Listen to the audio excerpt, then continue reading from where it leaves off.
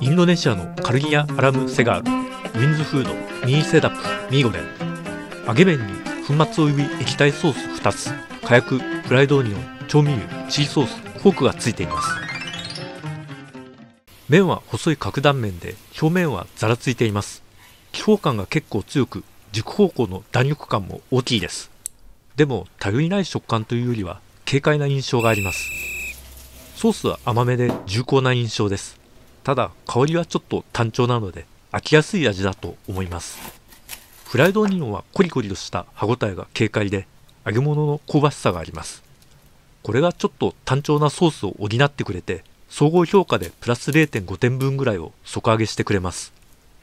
蓋には中途半端な雪の仕組みがついていますがこれは使いづらくてネギもだいぶ排出されてしまいました。